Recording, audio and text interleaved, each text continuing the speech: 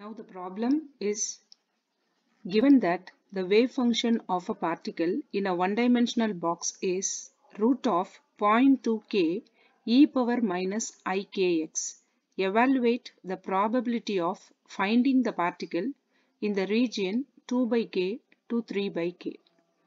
So they have given the wave function psi as root of 0.2k e power minus ikx. We are going to solve for finding the probability density of this one-dimensional problem. The formula for finding the probability density for one-dimensional cases integral mod psi square dx. The limit should be given, the lower limit and the upper limit.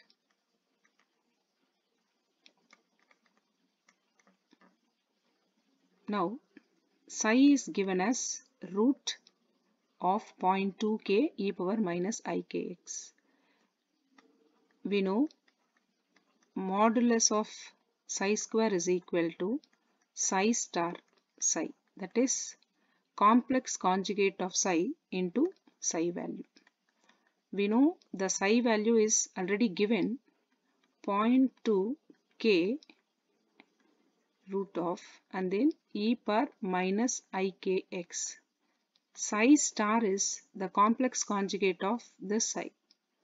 Root of 0.2k e power plus ikx. So we get root of 0.2k into root of 0.2k we get 0.2k and then e power plus ikx e power minus ikx this becomes e power 0 so we get 0.2k e power 0 since e power 0 is 1 we get 0.2k as modulus of psi square substituting this in the probability density formula the limit is given as 2 by k to 3 by k 2 by k to 3 by k and modulus of psi square as 0.2k dx.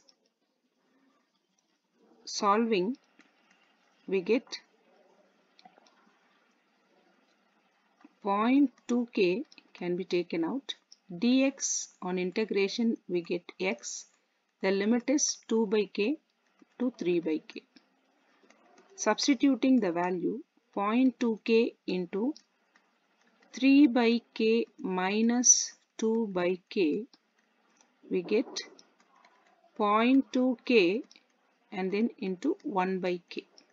K k get cancelled off thereby we get p is equal to 0.2 that is the probability density is 20 percentage. So 20 percentage is the probability density that is finding the particle in the given range of 2 by k to 3 by k in this one dimensional box